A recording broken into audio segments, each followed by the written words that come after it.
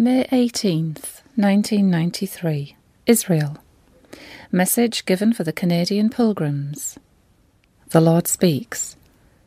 My Vassula, have my peace. I tell you, so loved by me and so favoured from my Father, I, Jesus of Nazareth, have freed you. I have freed you all.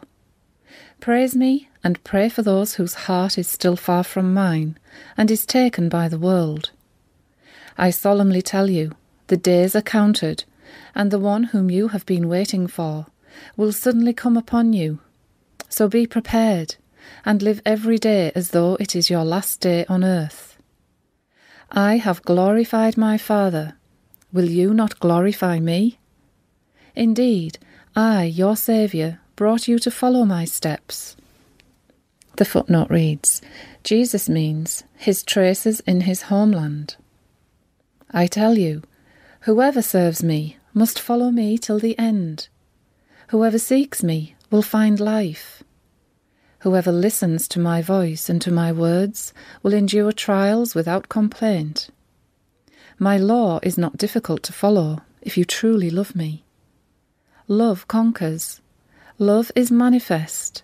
Love endures patiently. So come and refuse me nothing do not be afraid. My heart is an abyss of love. I bless you all from the core of my heart, little friends. Signed Alpha and Omega. Later on, the Lord speaks. Peace be with you.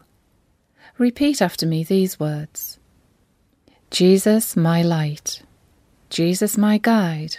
I love you because you showed me the way. Holy Spirit, my companion and my friend, you who whisper in my ear counsel, wisdom, and consolation. I love you because you allowed my eyes to see and hear. I adore you because you resurrected me and you became, O sweet manna from heaven, my daily bread.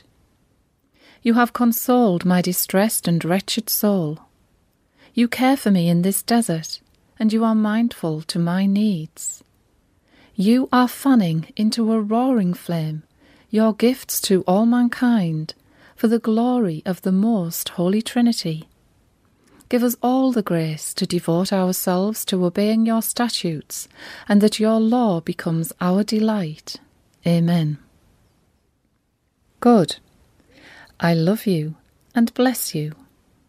Your beloved. Signed, Iota Sigma, Jesus.